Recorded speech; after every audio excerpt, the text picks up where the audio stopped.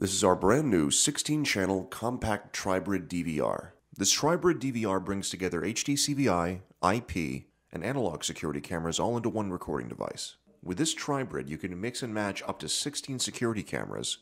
With HD CVI and IP, you can record up to 1080p resolution, and with analog cameras, you can record up to 980h resolution. The standalone Tribrid does not have to be attached to a computer to run, as it comes with its own Linux operating system and intuitive interface, with no additional software needed and can hold up to four hard drives at 4 terabytes each.